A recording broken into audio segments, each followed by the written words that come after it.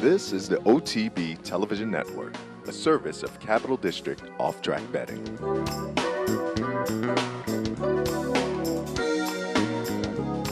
It's been a battle from the start. Uncle Si on the inside and Samrat on the outside. And now there's nothing between them as they turn for home. And it's Samrat with a narrow lead. Uncle Si continues to battle on down at the rail. Samrat by a head. Uncle Si at the rail. The others are far back. Now they're inside the eighth pole. It is Samrat and Uncle Si, and they've been dueling from the start. Samrat now prevailing by a half length. Uncle Si is second, and Samrat will stay undefeated. He's four for four, and he's won the Withers. The time was one minute 46 and one fifth seconds.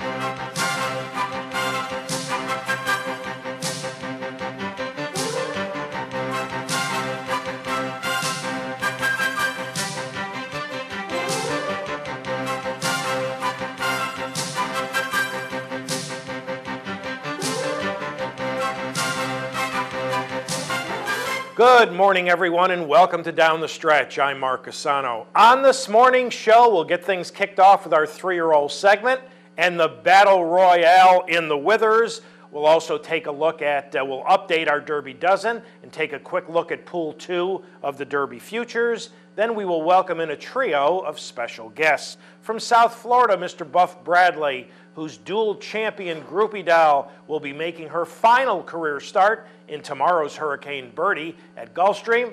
We'll go out to Southern California and welcome in Mr. John Shirreffs, whose recent maiden winner, Cool Samurai, makes his stakes debut in this afternoon's Robert Lewis. Then it's back to South Florida, where we'll welcome in Mr. Rick Mettee, who's got one of my favorites, Brujo de Olleros, coming back in this afternoon's Gulfstream Park Sprint. So, all of that and much, much more if you stay with us for this, our February 8th edition of the program. Again, good morning. Welcome to the show. You know, early February doesn't seem to be any better than January was, but we've got another snowstorm behind us, a little more cold weather behind us. Settle in, relax. Hopefully, we'll have a fun show for you this morning. And we're going to begin with our three year old segment and begin with the grade three withers. Certainly not restricted to state breds, but the two big horses in here, a pair of exciting New York breds. Uncle Si, a runaway maiden winner in last against Samrat. Number one, Uncle Si. Number five, Samrat. The latter unbeaten in three career starts, coming off a runaway win in the Damon Runyon. Now, interestingly, they not only appeared to be the two best horses on paper, but they had similar running styles. They both possessed a great deal of early speed. On last week's show, we interviewed both Gary Contessa, the trainer of Uncle Si, and Rick Violette, the conditioner of Samrat, and we discussed, among other things, strategy for the Withers. And here's what they had to say. I just don't want, all I don't want is Samrat to have things his way on the lead. So I'm going to come out of that gate with intent. It's going to be, it's going to be Pablo's decision to make.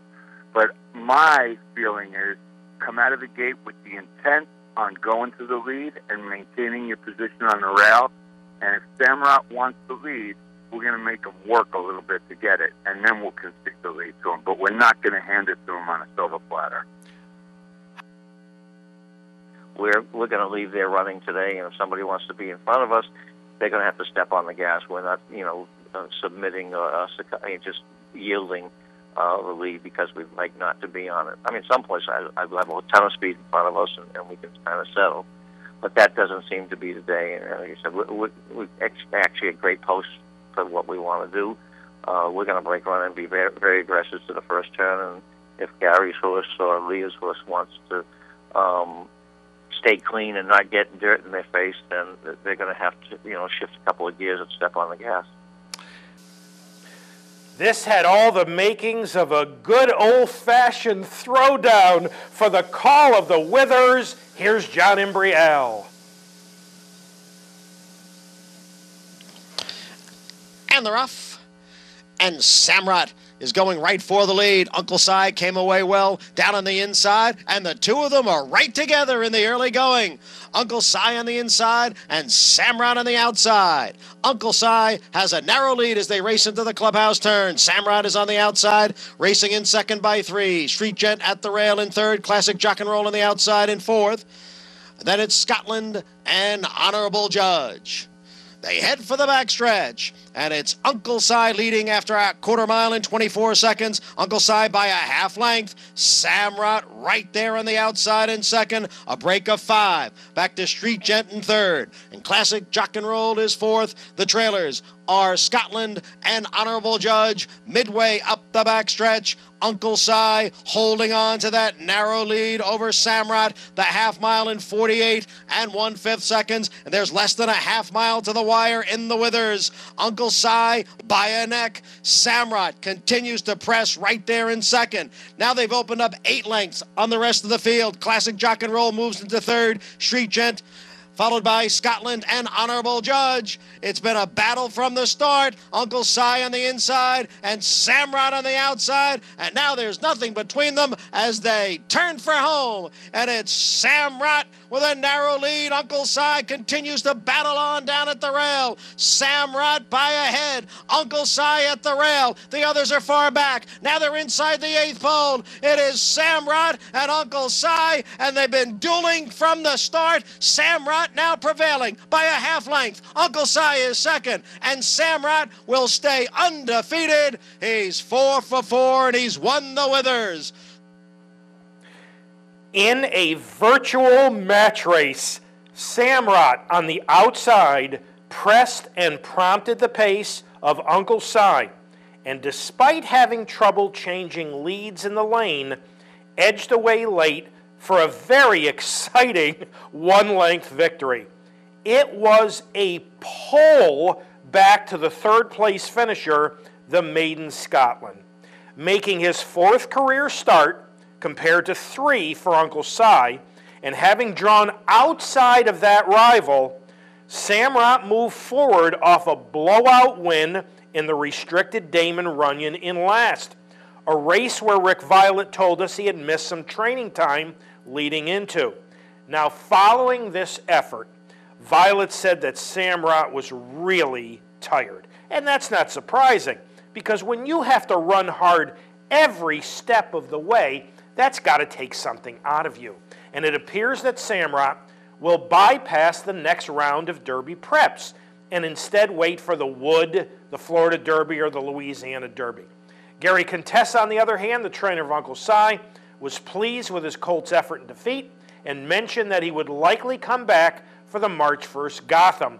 Now, it will be very interesting to see how both of these Colts, after such a tough race, how they'll come back and race next time out. Will they move forward off that battle or will they regress? A minute 46.31 was 2.18 seconds faster than the fillies in the Busher.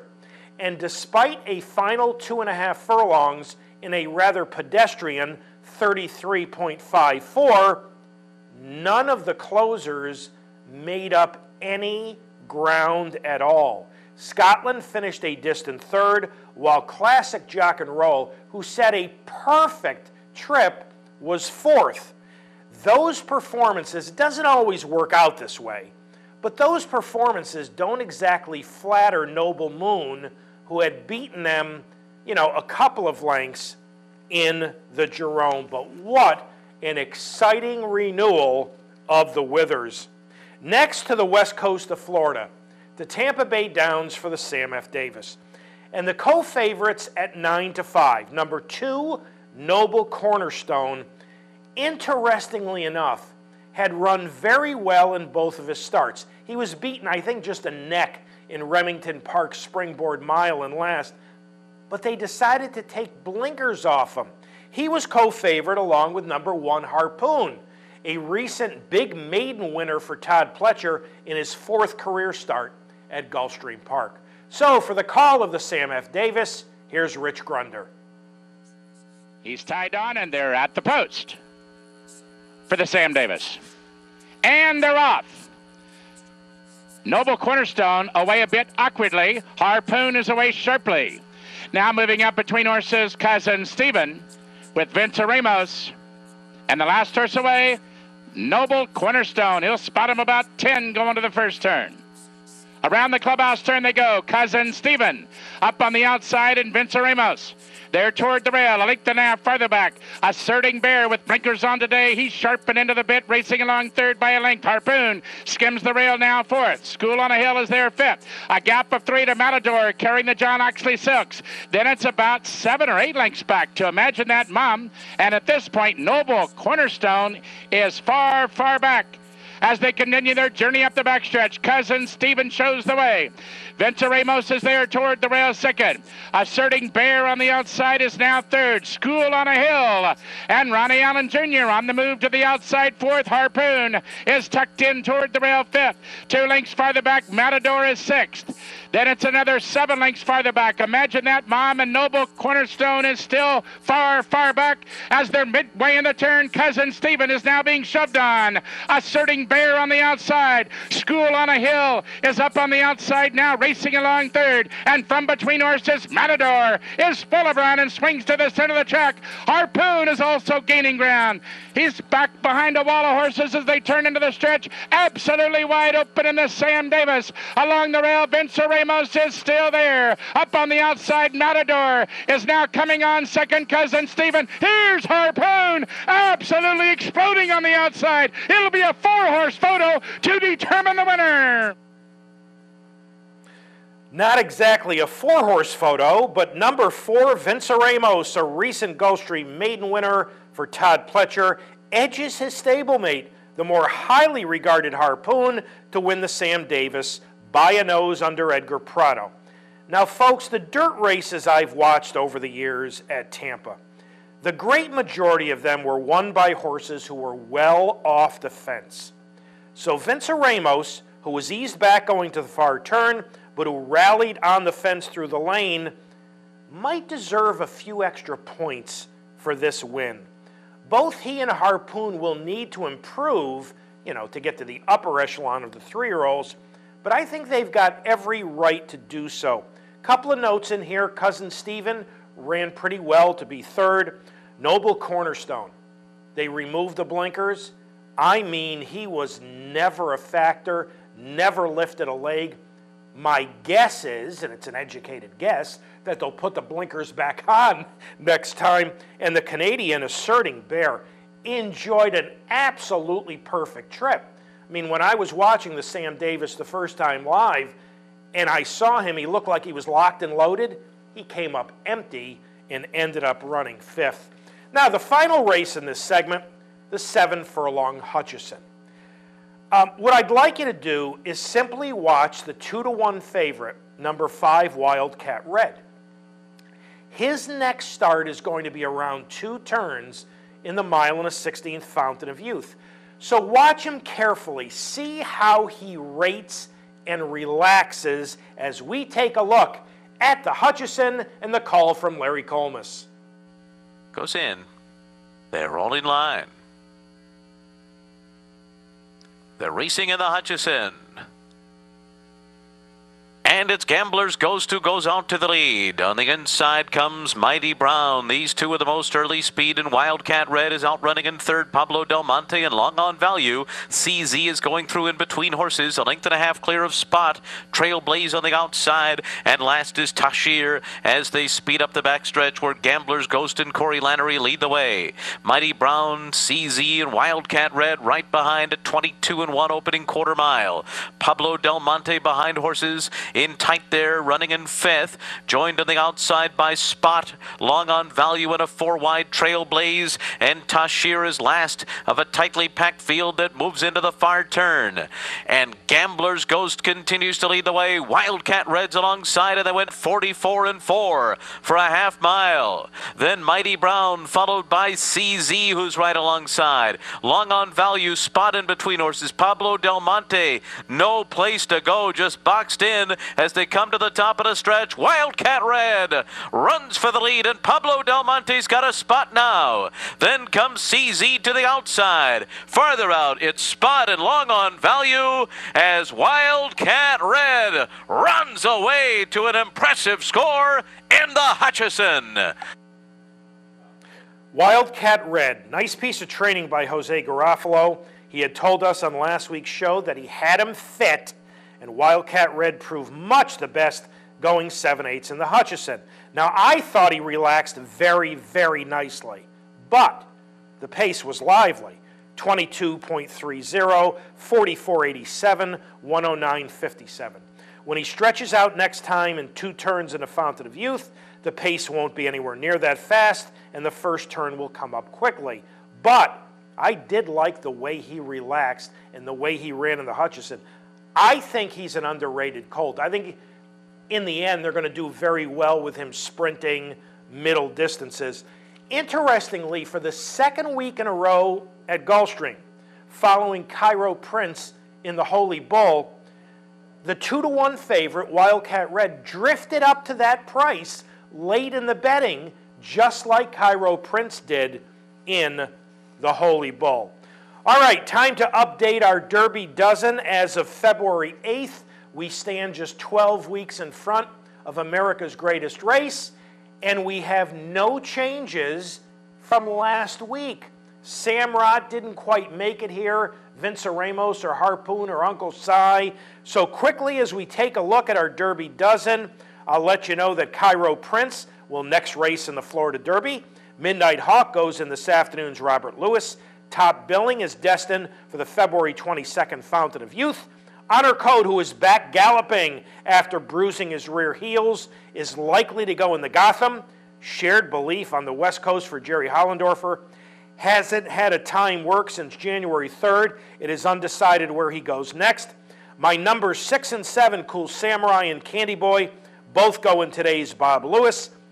Strong mandate will go in the February 17th Southwest at Oaklawn if they thaw out with Joel Rosario. At number nine is Vicar's in Trouble, the February 22nd Risen Star.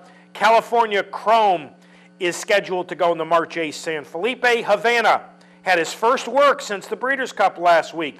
An easy three furlongs. He'll be going in the March 1st Swale. And Commissioner rounds it out. He will go next in the Fountain of Youth. So no changes from last week to this week, although in all likelihood, there will be several changes for next week since three of the top seven go in this afternoon's Bob Lewis. Now, quickly, uh, today marks the final day of wagering in Pool 2 of the Derby Futures. As of late last night, there was about 120,000 in the pool. It closes at 6 o'clock this afternoon, well before the Robert Lewis. Now, folks, there's obviously a tremendous risk trying to find the winner of the Derby 12 weeks out from the first Saturday in May, so you must get some value. But you know, I was thinking about this. There is a way to reduce some of the risk. Please understand that the next futures pool will be the end of this month, from February 27th through March 1st. And horses who aren't scheduled to race before that next futures pool, if you like any of them, why would you bet them now? There's more risk in betting them now and probably not any substantial gain rather than wait the three weeks for the next pool. Horses like Cairo Prince, California Chrome, Havana, Honor Code, Noble Moon, Samrat, Shared Belief, Uncle Si, they are not scheduled to race again before the next futures pool. So if you like any of them, why bet them in this pool? Give yourself an additional three weeks and wait. Here are some of the prices quickly. The parimutuel field, all other three year olds, are six to five. Shared belief is the lowest price of any individual entrant at 12 to 1. Cairo Prince and Honor Code are both 15 to 1. Strong Mandate and Top Billing are both 18 to 1. And Midnight Hawk and Candy Boy, who both go this afternoon in the Bob Lewis. Midnight Hawk is 22 and Candy Boy is 39.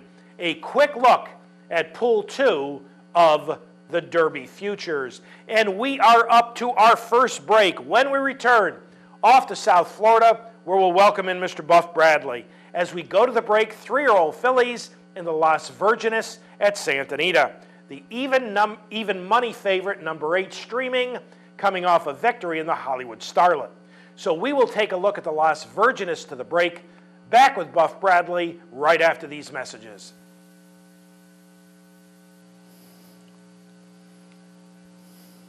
And uh, away they go. Streaming began well from the outside gate. Taste like candies out quickly and fashion plate on the inside. They ensure a quick early pace. Saintly Jones racing right behind them in the fourth position. Then we come back to Sushi Empire fifth, a good five off the leaders. In behind that comes Arethusa and Artemis as last. Eight lengths covers them all. They head to the three-quarter pole and fashion plate along the inside, taken on by Taste Like Candy. They ensure there's good pace. They lead it by two. Streaming is lacing along in third, and then we have a gap of four back to Saintly Joan. Outside of her comes Sushi Empire, and at the back is Arethusa and Artemis, now a good 10 off the lead. They run past the half mile pole and Fashion Plate now gone clear. Fashion Plate by two lengths. Tastes like candies in the second spot, been followed in by Streaming in third. A gap of five back to Sushi Empire. Artemis on the far side tries to make some headway with Arethusa and Saintly Jones dropped out. They have three eighths of a mile to go now, and Fashion Plate still the leader. Taste like candy and streaming. They're coming to make it three in a line with a quarter of a mile to go. Behind that, Sushi Empire. Now Artemis picking it up on the outside, and Arethusa. Artemis Arethusa running on from behind. At the top of the lane, Fashion Plate's tough on the lead. Fashion Plate finds more and goes for home. Streaming on the outside of that. Arethusa tastes like candy. Coming to the 16th fashion place, hanging on, streaming up alongside. Fashion plate streaming, streaming on the outside. Fashion plate at the wire. Fashion plate and Gary Stevens one at the neck. Streaming was second, Arethusa third, and then Tastes Like Candy.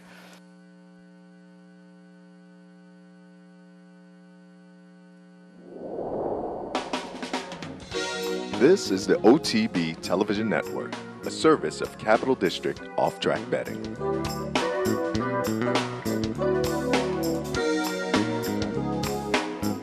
Each morning on the OTB TV network, you get the very best in horse racing programming. Weekdays begin with the Handicappers Report, where professional handicappers share their selections and analysis of the day's racing. Followed by Racing Across America, a daily conversation with racing personalities from around the country.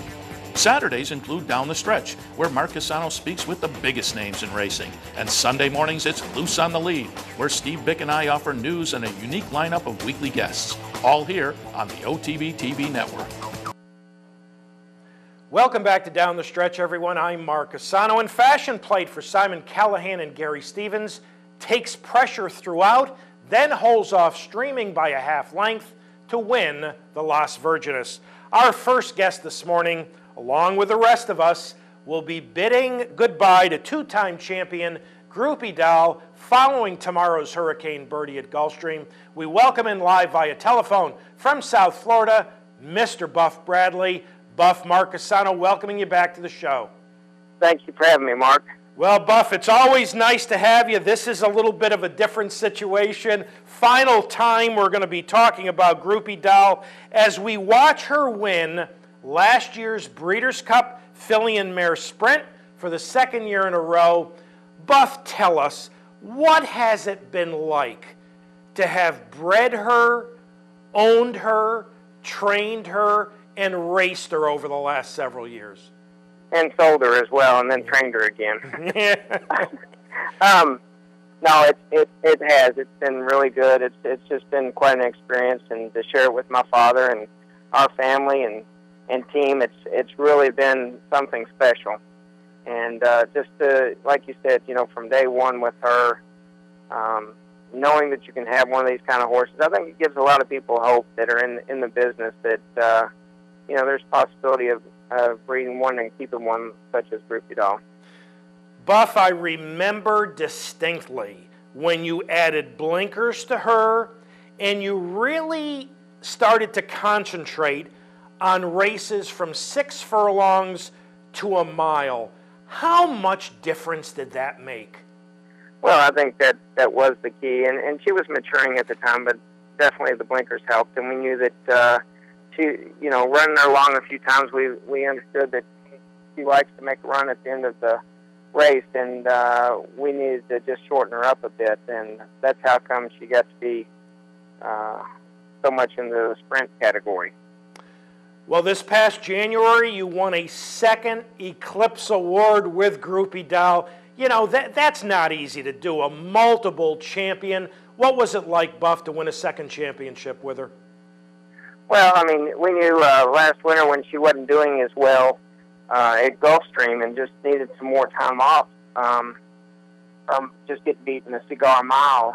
Uh, we knew that we needed to, if we were going to go back and try to repeat, uh, which we we knew would be difficult to do, but uh, we knew we'd give her some time off and try to bring her back for the fall, which is what we did, and it worked out.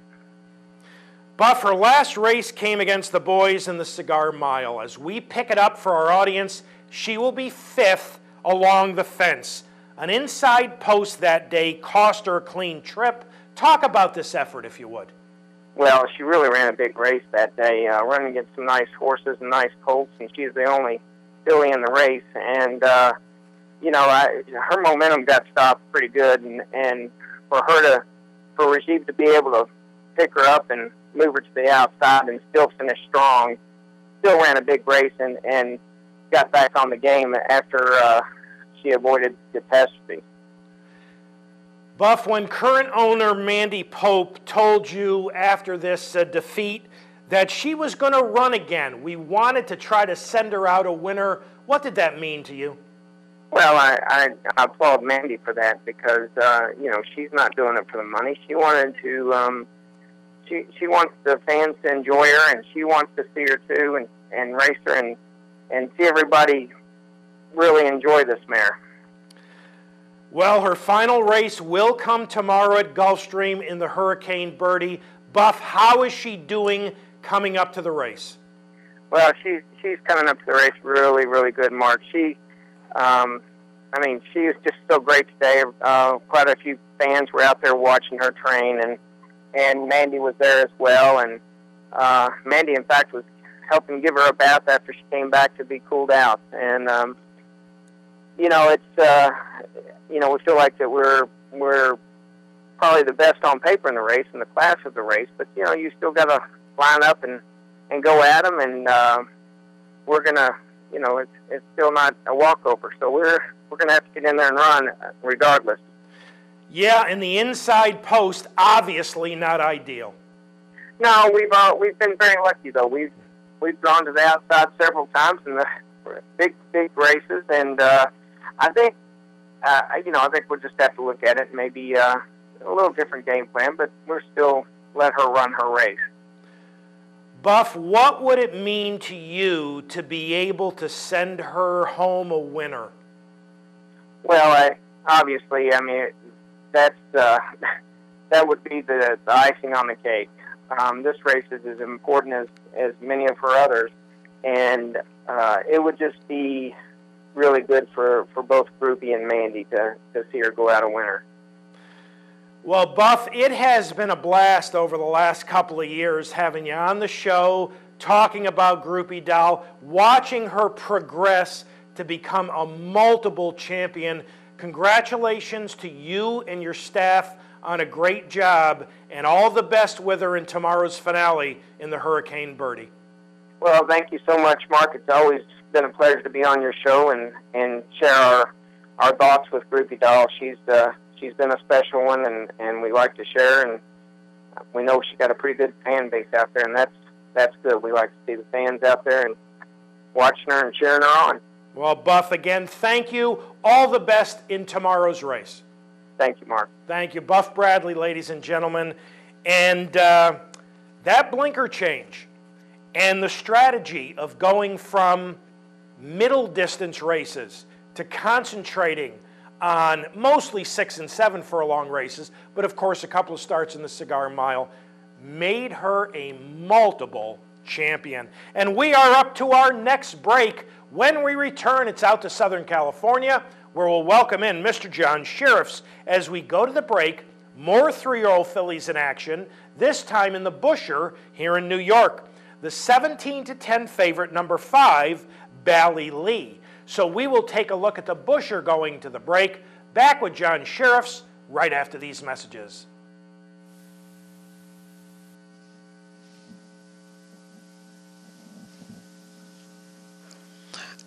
And they're off. It's Fierce Boots going out for the lead. Kettle Twist is right there, and on the outside, Vera Amore, a close up third. Fleet of Gold is down on the inside and fourth. Bally Lee was off just a step slow and is now racing in fifth as they head for the clubhouse turn. Fierce Boots on top here. It's Fierce Boots in front. Bally Lee is looking to come on through in between horses. She's sitting right behind a Kettle Twist, who's a bit tough to handle there as they approach the backstretch. Fierce Boots on top, and Kettle Twist giving chase in second with Fleet of Gold down on the inside in third. Vera Amore on the outside in fourth. Bally Lee is fifth, four lengths from the front. Then it's a gap of seven lengths to my Jimmy Choo Girl and Joint Return. They're midway up the backstretch with Fierce Boots in front by a length. Kettle Twist in second by a neck. Down on the inside is a Fleet of Gold in third by a head. Vera Amore is fourth. Bally Lee in fifth, now six lengths off the lead. Farther back, my Jimmy Choo girl in joint return. The quarter in 24 and 2. The half mile in 50 and 1 5th seconds. And they're rounding the far turn with Fierce Boots, the leader, by a half length. Kettle Twist continues to run in second, and Vera Amore is third. Now Bally Lee begins to pick it up four wide, and joint return is five wide as the field turns for home. Three quarters in 115 and 4. On the far outside, it's joint return. Kettle Twist is there. Vera Amore in between horses. Now Bally Lee is tailed off. Fierce Boots is down at the rail. Joint return in front. And Joint Return has made a last to first move to win the Busher. Joint Return by four. Vera Amore was second, and Kettle Twist finished third.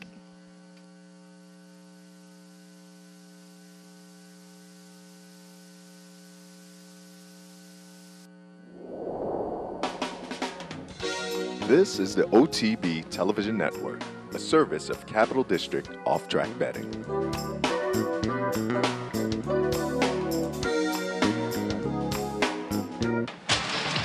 Hey, race fans, head down to the all new Clubhouse Racebook and get in the game.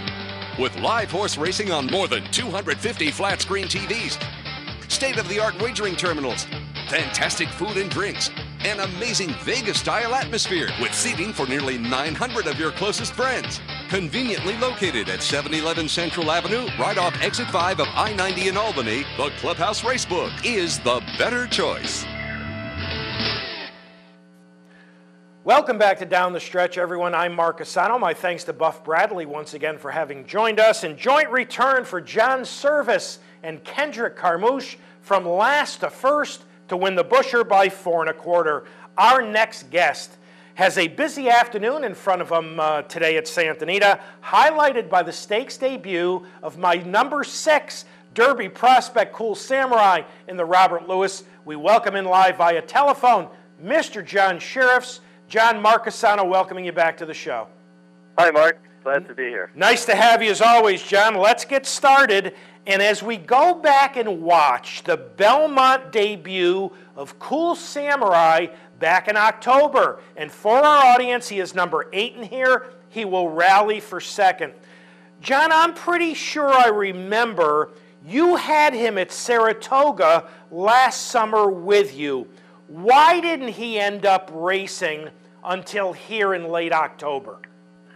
Uh, you know, uh, interestingly, uh, when I got to Saratoga, Cool Samurai was up there with uh, David Figueroa.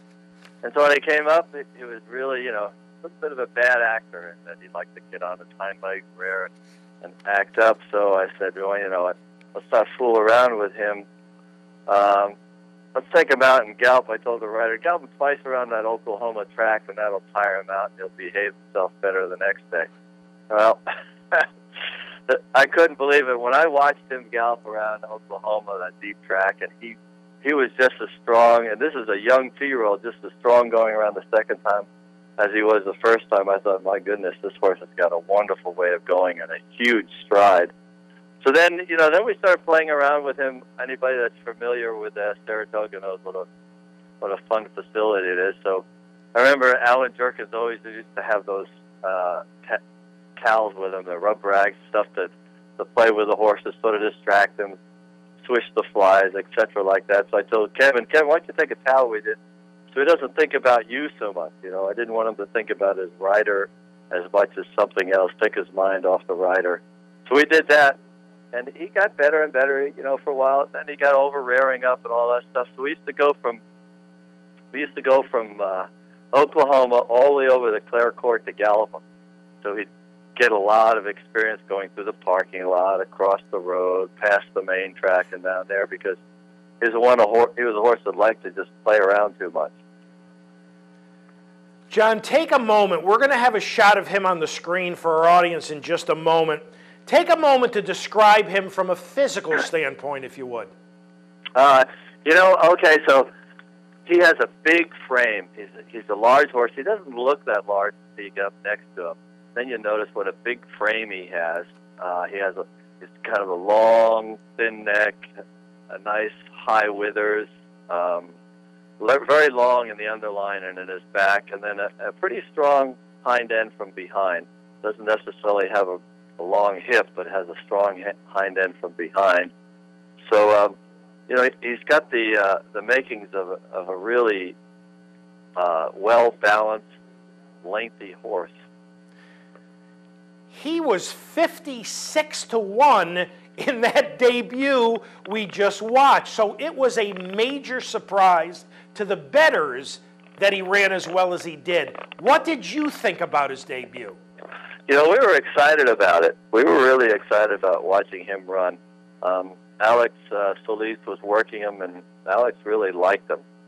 And uh, you know, it, it takes him a little bit to uh, to get everything straightened out in his mind when he starts to run. So he's a little high-headed. It takes a moment to get into stride, then to drop his head and, and lengthen his stride. But um, you know, we knew that once he found his stride, you know, he could just keep coming and coming and coming.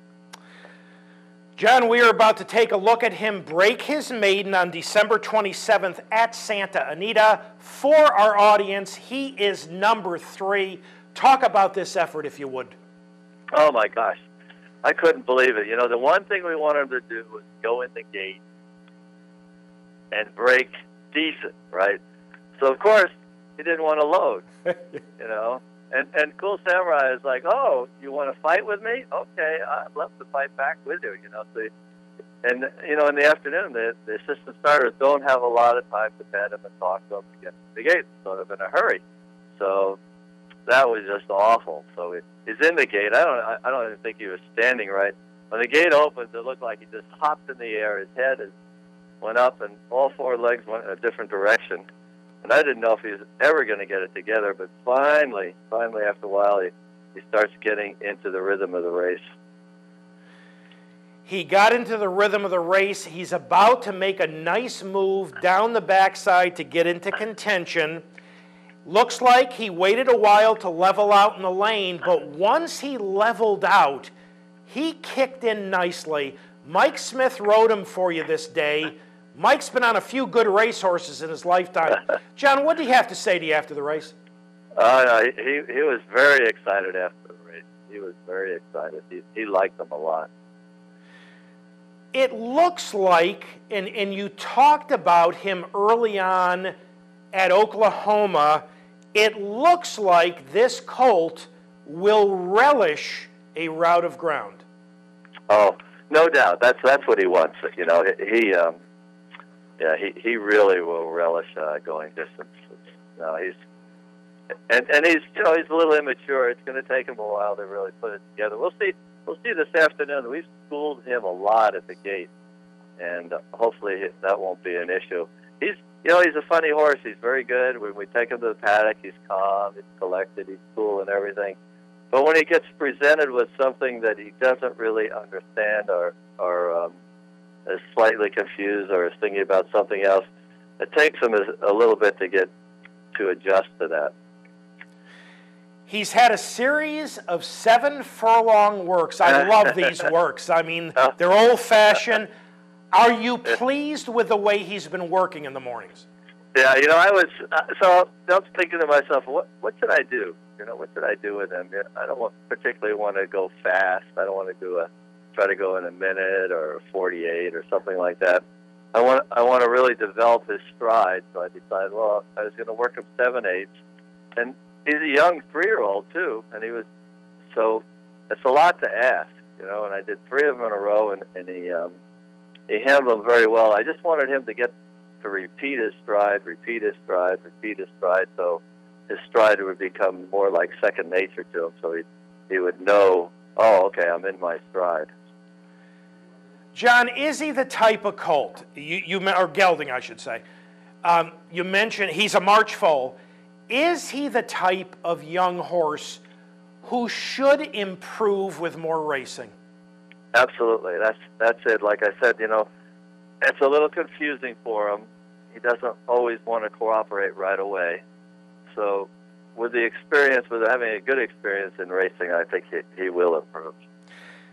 Do you have a schedule penciled in for him following this afternoon's Robert Lewis? Oh no, I tell you, you know, we'll just do it one race at a time. Santa Anita has a wonderful uh, program for uh, three and four year olds, so there's lots of opportunities to race. You can be honest with our audience. Am I nuts to have him at number six on my Derby list? I mean, does he have the potential quality to be a legitimate Kentucky Derby candidate? You know, uh, so from my experience, the one thing Giacomo had was a big stride. It, had it was a big, effortless stride, and nothing bothered him. You know, so I, think any young horse that has that big ground-covering stride with talent has the possibilities to uh, develop into that type of horse. All right, now, John, I mentioned in the intro you're going to have a busy afternoon as you're represented in all three stakes. You've got Blingo facing Game On Dude in this afternoon's San Antonio. How's he doing? Uh, Blingo is another one that, that's a little bit different. Um, yeah. Um, Blingo is doing very well. Uh, he's we've been we moved out of Hollywood Park a couple of weeks ago, so we've had an opportunity to do a lot of schooling with Blingo. And that was the one thing in his last race that, that he really needed. He didn't have a chance to school. So we had a lot of trouble with him between the receiving barn and the saddling enclosure. So since then, we've spent a lot of time schooling him. And I, I think uh, Blingo has, he's one of those horses that could run a really dynamite race at any time. And you've got long shot Utopian for the grassy San Marcos. He didn't run badly last time. You know, we were he, we were very happy. Hadn't run in a long time, and uh, hadn't really trained them really hard for that race. Uh, so Jose Valdivia said, "Well, you know, some of these older horses, you never know if they still want to go again." But he said when he asked them to pick it up at the top of the lane, the horse kicked in for him. So he said, "You know, this horse still has a lot of enthusiasm for racing." So I think that uh, with the race under his belt and the additional training, he should run well also. And finally, John, as it was about, I don't know, three degrees or five degrees here overnight, it reminds me to ask you are you planning on coming back to Belmont this spring and summer? Yes, yes, we are. Yes, we certainly are. Well, we will look forward to your return along with the warmer weather. We'll look forward to all your steak starters later this afternoon, particularly Cool Samurai in the Robert Lewis. And John, as always, we thank you for having joined us this morning on Down the Stretch. Thanks. Thank you, John. John Shirreffs, ladies and gentlemen. You know, he doesn't have to win this afternoon. In fact, it would be a bit of a surprise if he beat Midnight Hawk and Candy Boy. But you know, he doesn't have it together. And I remember years ago when John Servis told us about a little known horse that the light bulb went on and that little known horse became Smarty Jones. You know, you never know what can happen with horses when that light bulb goes on. And uh, maybe it'll go on in the Bob Lewis this afternoon for Cool Samurai. And we are up to our final break. When we return, Mr. Rick Mettee will join us as we go to the break. The Palos Verdes at Santa Anita, field of only five, but two of them were finalists for Champion Sprinter of 2013. Number four, Secret Circle, was the odds on favorite. Number two, Sahara Sky, making his first start since a victory in last year's Met Mile, was the 5 to 2 second choice. So we'll take a look at the Palos Verdes to the break. Back with Rick Mettee right after these messages.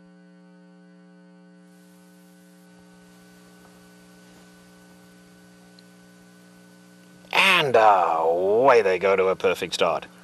Majestic Stride, Secret Circle of Quick into Stride, and Moonshine Bay from the outside gate right there too. Wild Dude is down at the rail, and Sahara Skies at the back. Four lengths would cover the lot. They head to the half mile pole, and it's Secret Circle on the inside of Moonshine Bay. Those two go clear now by just over two. Majestic Stride right there in third, and Wild Dude now giving them five length start. Sahara Sky is last. Into the turn they go. Moonshine Bay on the far side and Secret Circle at the rail, head and head into the turn. It's two and a half back to Majestic Stride in the third spot, been followed by Wild Dude, still five off them. Sahara Sky last. Coming to the quarter pole, and Moonshine Bay now takes the lead. Secret Circle on the inside, still right there. Majestic Stride comes after them third, and Wild Dude is in with a shot coming on from fourth. Homeward bound now in Secret Circle fully extended on the inside. Moonshine Bay, and here comes Wild Dude now. Wild Dude, can he get through? He's going to try to hook to the outside. Secret Circle, Moonshine Bay, Wild Dude flying. Wild Dude will get up. Wild Dude got lucky there. He got out and got up to win it. Wild Dude, Secret Circle, and Moonshine Bay.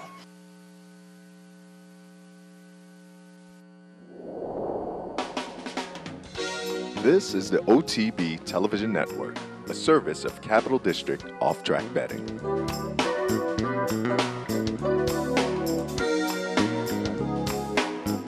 Missed one of our TV shows? No worries. Now you can catch all your favorite programs online. Simply log on to capitalotb.com and click on the YouTube link at the bottom of the homepage. And look for our new podcast coming soon. capitalotb.com. Log on today.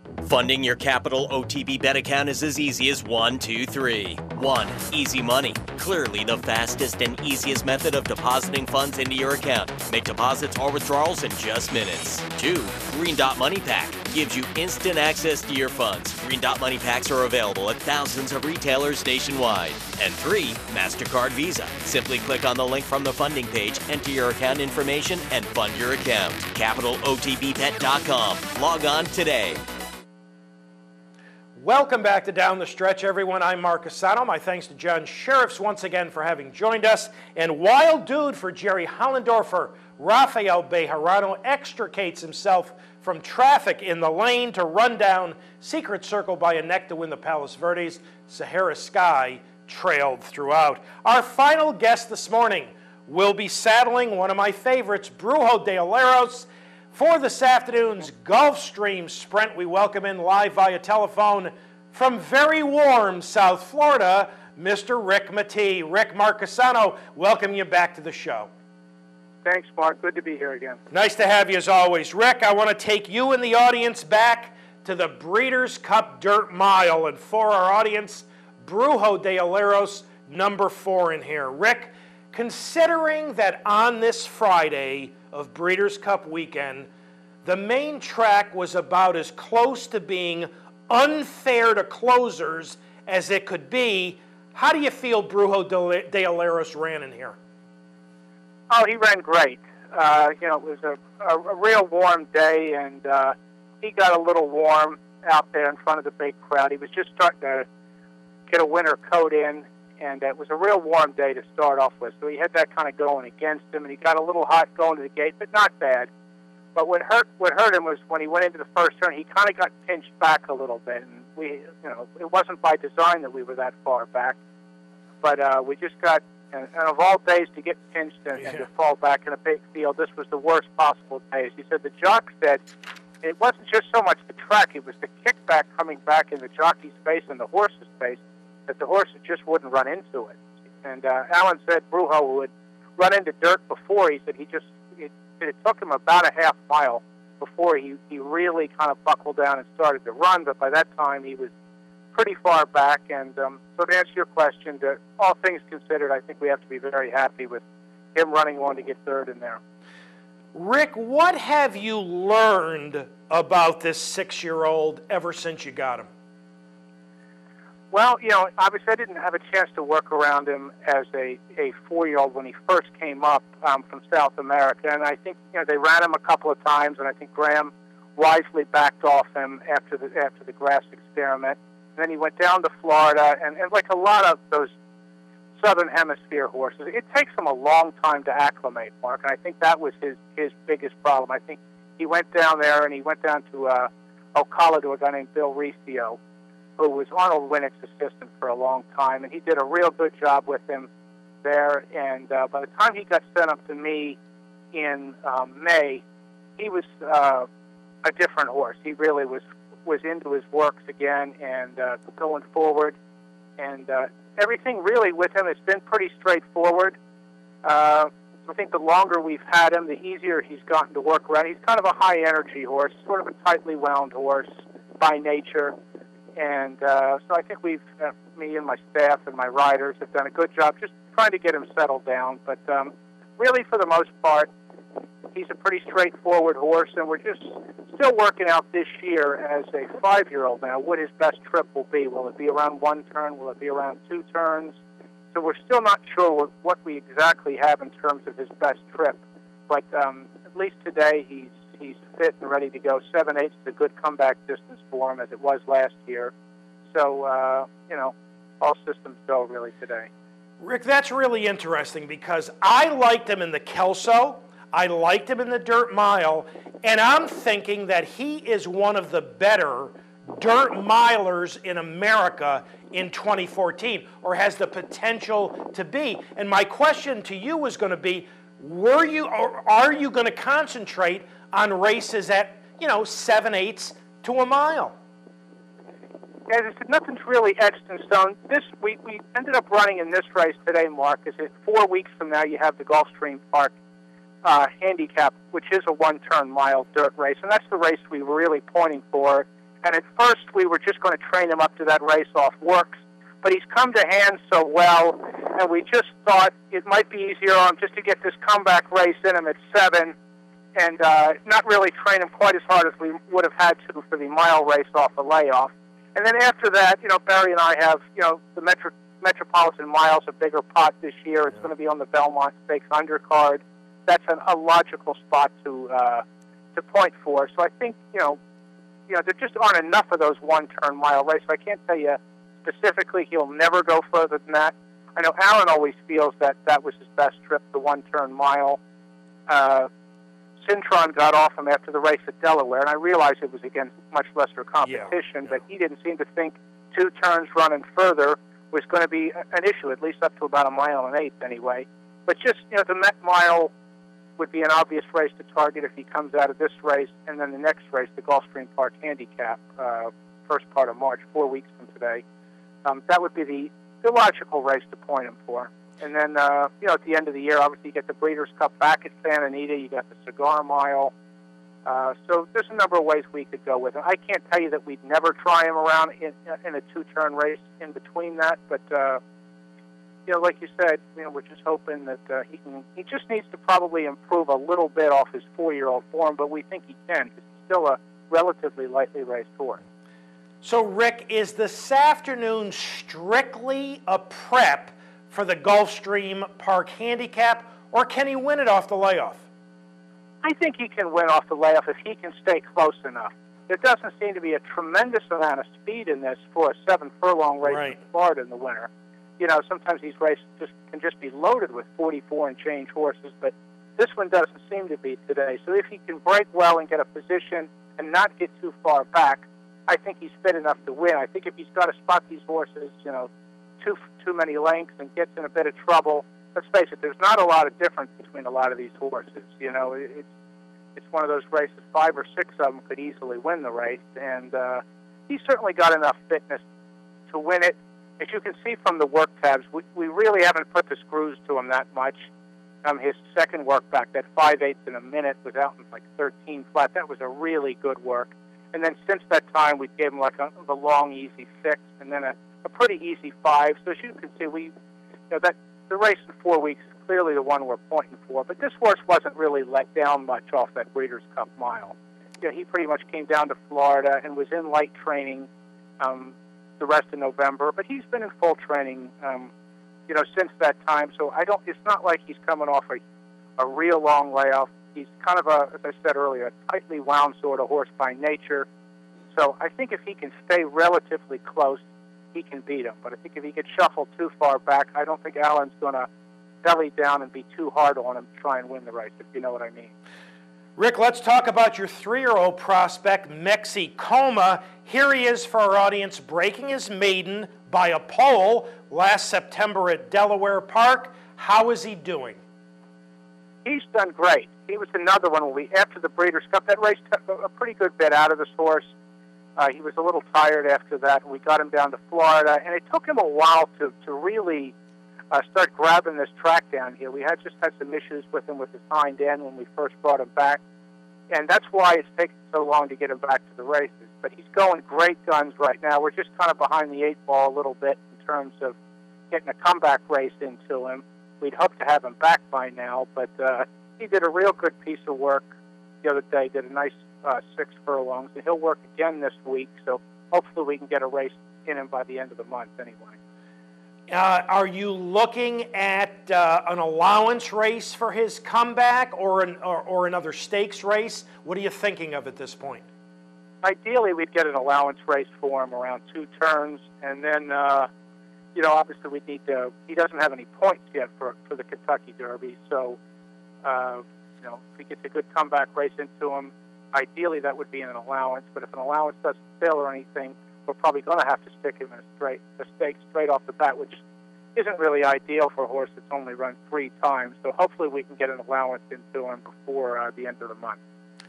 Rick, as always, we appreciate your time. Thank you so much for having joined us this morning on Down the Stretch. All the best uh, with Brujo de Olleros this afternoon and bringing back Mexikoma, and we'll look forward to speaking with you again very soon.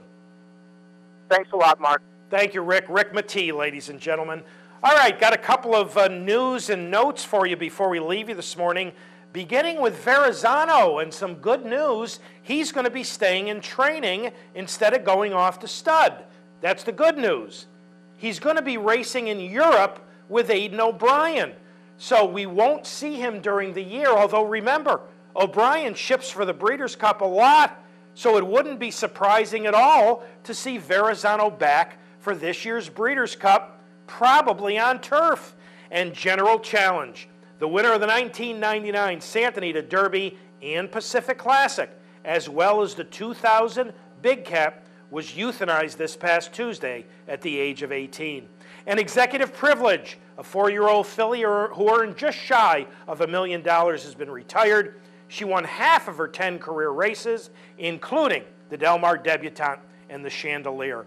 And Chriselliam, the impressive winner of last year's Breeders' Cup Juvenile Fillies Turf, has died. She was euthanized on Friday due to very serious foot infection. Big news from NYRA. When we spoke to their new vice president of racing, Martin Panza, about five weeks ago, one of the things he talked about was creating big days of racing. Well, he's created a monster for this year's Belmont Stakes Day. It's going to be a 13 race card with 10 of them being stakes races worth a total of $8 million. The million and a half Belmont Stakes, the Met Mile will now be on the Belmont Stakes undercard, an extra half a million, so that's 1.25 million. Huge increases for the Manhattan, which is now a million. The Ogden Phipps for a million the Just a Game and the Acorn for three quarters of a million, the Brooklyn at a half million, the Woody Stephens at a half million. This becomes the second richest card in North American racing behind only the Breeders' Cup. This is an incredible decision by NYRA 10 stakes races on one day. Now be careful. Just because NYRA is offering this incredible amount of purse monies doesn't automatically mean you're going to have big fields and the best racing that you can possibly have. Folks, remember something. There's only so many stakes horses out there. So you reach a threshold as far as purse monies offered. When you go beyond that threshold, it's not going to make that much of a difference. I, I love big days of racing. I'm all for them. I don't like 13 race cards, but I don't remember 10 stakes races on a single card. In my memory, here in New York, I think that is a first. All right, time to wrap things up and thank all the folks who helped get this week's show on the air. Here at the studios of the Clubhouse Racebook in Albany, our associate producer Julie Hoxie and Brian Dorenzo. Back in the control room in Schenectady, Pat Peretta directed, handled pre production, and Peter Persico, who just celebrated his 25th year here at the network. Congratulations to Pete, was on audio. Our guests, thanks to Buff Bradley and John Shirreffs and Rick Mettee. And as always, thank you so much. Terrific weekend of racing. Remember, tomorrow, you got Groupie Doll's finale. You got Will Take Charge in the Don. You've got a fascinating race in the Gulfstream Turf Handicap. This afternoon is the Robert Lewis. So, ladies and gentlemen, enjoy all the racing action from coast to coast this weekend. Capital, have a wonderful upcoming week. And from all of us here at Down the Stretch, we'll see you next week.